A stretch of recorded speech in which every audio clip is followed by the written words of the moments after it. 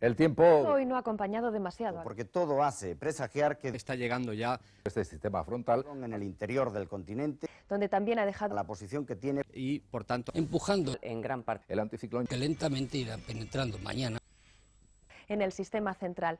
Así pues, continuará eh, penetrando, eh, descendiendo hacia el sur.